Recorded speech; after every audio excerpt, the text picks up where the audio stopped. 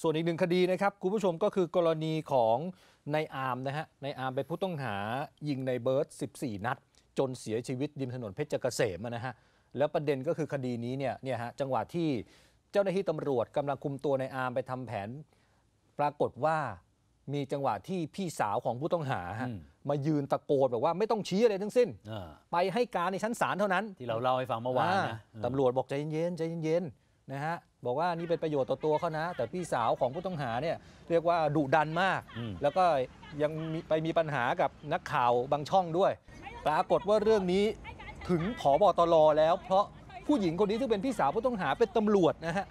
เป็นตำรวจยศร้อยตำรวจโทนะครับ หลายคนวิพากษ์วิจารณ์หนักมากว่า โอ้โห คุณเป็นตำรวจแล้วมาทำแบบนี้เหมาะสมหรือไม่ อืม ต้องมีการดำเนินการอะไรหรือเปล่าพบตรสั่งตั้งคณะกรรมการสอบวินัยเรียบร้อยนะครับ โดยจากเหตุการณ์ที่เกิดขึ้นเนี่ยนะครับคุณผู้ชมครับ เป็นที่วิพากษ์วิจารณ์นะครับว่าพี่สาวของผู้ต้องหาเนี่ยทำไมไปยืนตะโกนแบบนั้น เจ้าหน้าที่เขากำลังปฏิบัติหน้าที่อยู่ทั้งที่คุณเนี่ยเป็นตำรวจด้วยซ้ำแล้วตำรวจที่เขาทำหน้าที่บางท่านเนี่ยเขายศใหญ่กว่าคุณด้วยนะ คือบางคนน่ะไม่ใช่บางคนน่ะท่านผู้การจังหวัดก็ไปทำแผนด้วยอ่าฮะผู้การก็อยู่แล้วนี่แบบแล้ตะวนี่ โกนตะโกนอย่างนี้เลย แล้วนี่แค่ร้อยตำรวจอะนี่ ยศในร้อยเท่านั้นเอง อย่างนี้จะถือว่าเป็นการแทรกแซงการทำงานของเจ้าหน้าที่หรือไม่นะครับ ซึ่งทางครอบครัวของผู้ตายเนี่ยเขาก็ไม่สบายใจนะเขาก็กังวลนะครับว่าจะไม่ได้รับความเป็นธรรมทำให้วันนี้นะฮะคุณกันจอมพลังนะครับ ก็เลยพาครอบครัวผู้ตาย ไปที่สำนักงานตำรวจแห่งชาติเลยนะครับ เพื่อยื่นหนังสือถึงผบตรพลตำรวจเอกต่อศักดิ์สุขวิมลให้ช่วยตรวจสอบหน่อย พี่สาวผู้ต้องหาเนี่ยทำไมไปทำแบบนี้ เห็นแล้วทำให้ภาพลักษณ์ขององค์กรตำรวจเสื่อมเสียไหมผิดวินัยไหมหรือแทรกแซงให้การช่วยเหลือผู้ต้องหาหรือไม่ครับ ไปตะโกนให้คำแนะนำคนในครอบครัวท่าน ท่านเคยเอ่ยคำขอโทษ ตัวภรรยาเขาไหม เคยที่จะติดต่อมาขอความช่วยให้ความช่วยเหลือกับเขาไหม เคยไหมครับ เดี๋ยวพี่จะเยียวยาอย่างนั้น พี่จะช่วยเหลืออย่างนี้ พี่ขอโทษนะ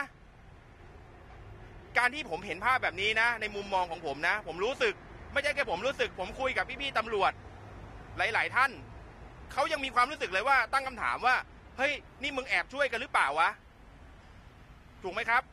ถ้าเรื่องเนี้ยไม่เคลียร์หรือว่าไม่กระจ่างหรือไม่เป็นมาตรฐานที่ชัดเจนนะ คนที่เสื่อมเสียที่สุดสำหรับผมนะ ในมุมมองของประชาชนนะก็คือตำรวจไม่ต้องพีไม่ต้องพูนี่ดปรากฏว่าเรื่องนี้นะครับรองโฆษกสำนักงานตำรวจแห่งชาติพันตำรวจเอกสิริวัตรดีพอนะครับก็ออกมาเป็นผู้รับหนังสือ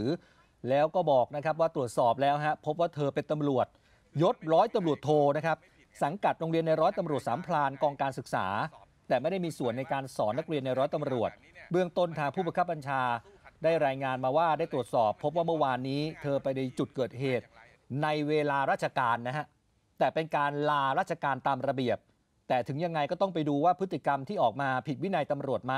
เพราะท่านยอมรับว่าตั้งแต่เป็นตำรวจมา ไม่เคยเจอแบบนี้นะฮะอืมที่ตำรวจด้วยกันมาแสดงพฤติกรรมแบบนี้ ล่าสุดตั้งคณะกรรมการสอบวินัยแล้ว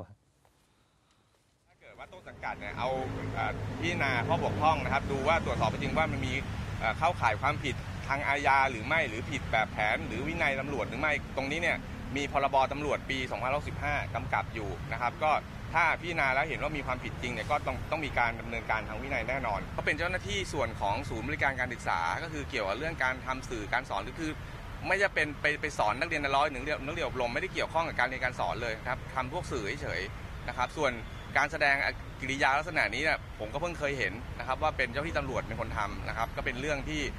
เพิ่งเพิ่งเคยเจอแล้วแต่อย่างที่เรียนนะครับ มันก็ส่งผลต่อภาพลักษณ์ที่ไม่ดีนักต่อสำนักงานของชาติเรื่องนี้เนี่ยเราต้องรีบแก้ไขโดยเร็วครับ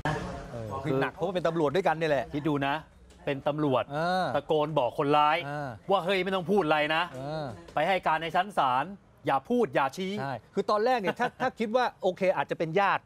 เป็นญาติก็แบบว่าอาจจะแบบอ่ารู้ข้อกฎหมายอะไรหรือเปล่าใช่ไหมแต่พอมารู้โอ้โหเป็นตำรวจด้วยเนี่ย ตำรวจนี่หนักเลย ยิ่งหนักเลยนะ ซึ่งท่านศิริวัตรยืนยันนะครับว่าตำรวจก็จะดำเนินการอย่างตรงไปตรงมา